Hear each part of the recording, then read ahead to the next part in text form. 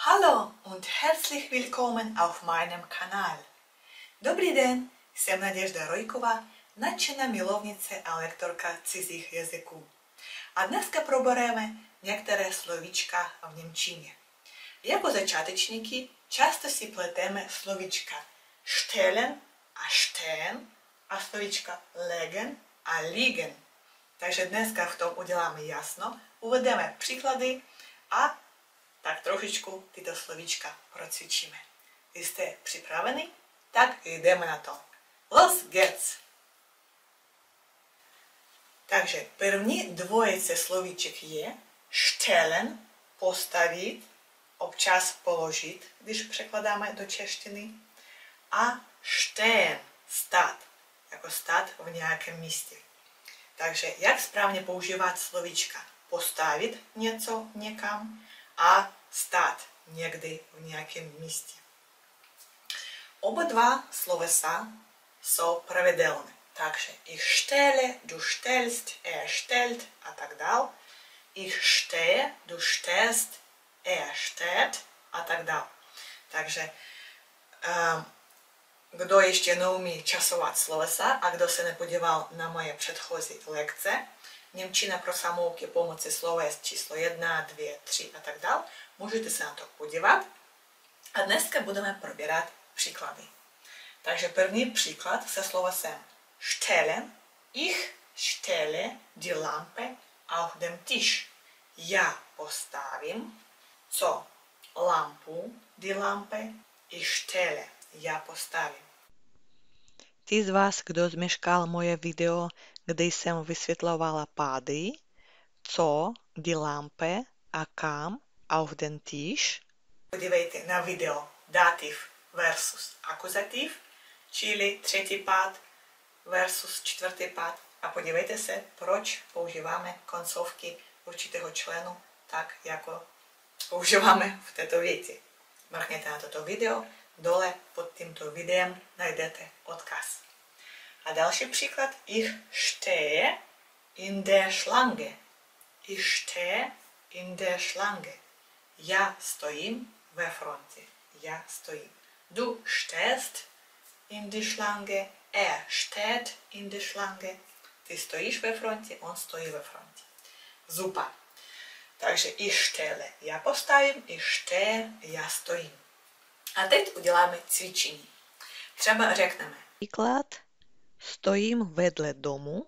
Stojím vedle domu. ich stehe neben dem Haus. Ich stehe neben dem Haus. Super. Tato jsou slovíčka stellen a stehen. A teď podíváme se na další slovesa. Další dvojice sloves, které občas si pleteme, legen, položit, liegen, ležet.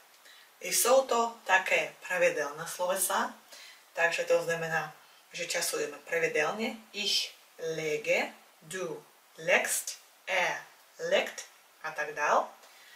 Ich liege, du liegst, er liegt a tak dál. Takže všechno je pravidelné. Teď se podíváme na příklady. Ich lege das Buch auf dem Tisch. Já položím knížku na stůl. Ich lege das Buch auf den Tisch. Ich lege mich ins Bett.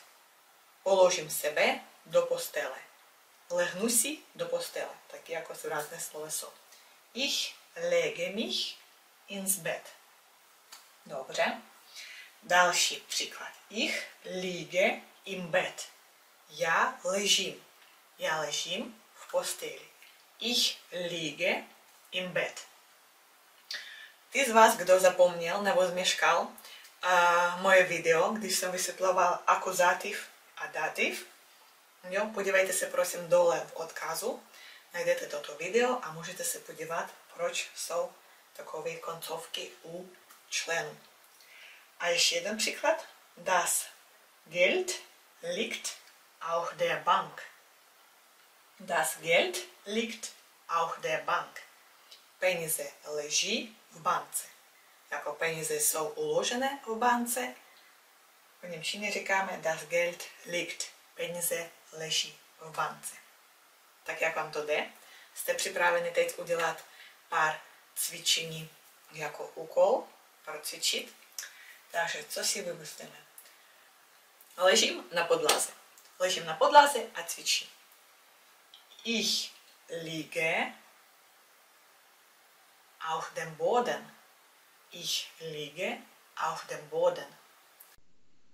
Další příklad. Postavím auto vedle domu. Postavím auto vedle domu. Zkuste to udělat samostatně. Jak to bude?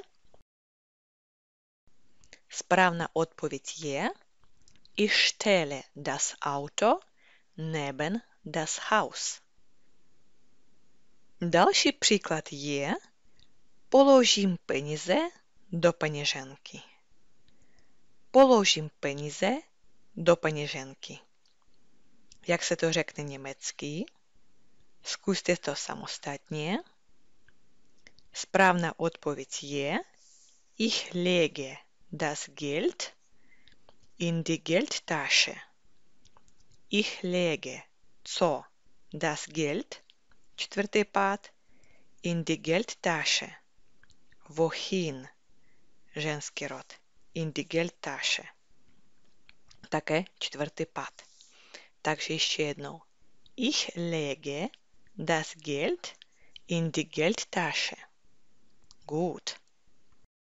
Jak vám to šlo? Procvičili jsme dneska slovesa stellen a stehen, legen a liegen. Udělali jsme v tom jasno. Pokud se vám toto video líbilo a bylo pro vás užitečné, dejte tomuto videu dole like a napište mi prosím do komentářů, co vás zajímá, o čím bych ještě mohla natočit další videa. Brzy na viděnou, bis bald!